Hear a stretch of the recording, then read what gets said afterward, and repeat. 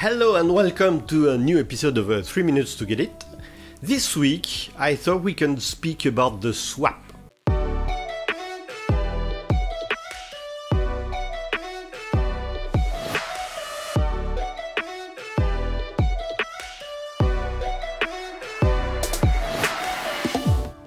The main objective of our operating system is to execute processes. Each process needs a bit or a lot of memory in the RAM to be able to run. It's in this space is going to put its own data and also the CPU instruction is going to execute.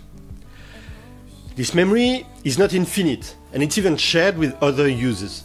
For instance, when we write something on a hard drive, what we want to write is first copied in the RAM, in the memory, because the hard drive is very slow compared to the RAM. And this data stays in the RAM in case we need to read it later. We also have the core system, the kernel, that needs some space in the RAM.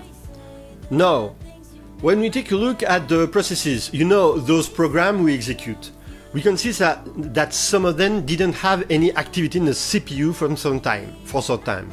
They use some RAM, but they have no activity, at least for now. Imagine, for example, a small computer where we put a web server. If no one types the address of this server in his browser, the web server, this process, just has to wait uh, for communication to come. That's it, it just waits. In a standard system, we have a few, sometimes even dozens of processes in this situation. The underlying idea is that if we need to quickly use some memory for a process, for any, uh, uh, for any activity, since those programs are just waiting, maybe we can copy the memory they use somewhere on the hard drive so we can free some memory in the RAM for this important use. But if this program is just we just copied if the program we just copied on the hard drive if it needs to run we can't run it uh, like that. We have to copy back the memory from the hard drive into the ram to make it run. A process cannot use its memory if it's not in the ram. Well what we call the swap is this space on the hard drive where we can copy ram parts the main objective is to have more RAM for our other uses, for the buffers when we write things on the hard drive, for the kernel, even uh, for uh, when we read data on the hard drive. This swap space can be created in files or on dedicated partitions. It depends on the OS and on the choice of the administrator. With that in mind, it's not surprising to see some time to time data written in the swap. The kernel can take the decision to put data in a swap just in case.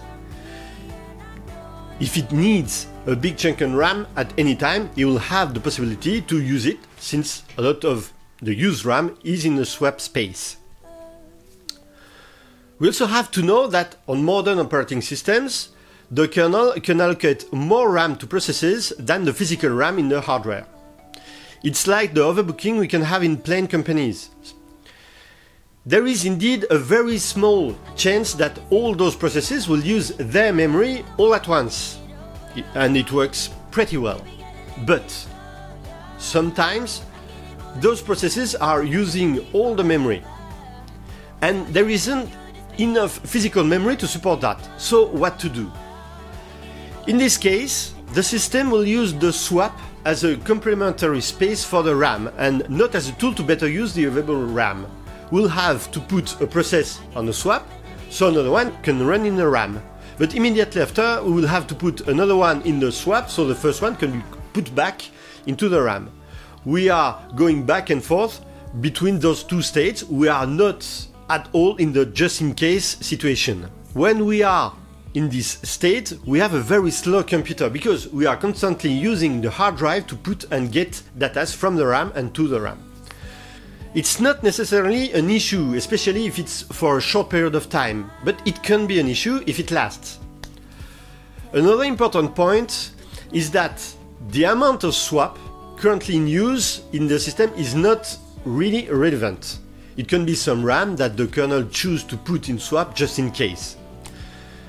A more relevant uh, indicator is the exchanges we have between the RAM and the swap we can see those exchanges with the SI and SO columns of the vmstat command, for example.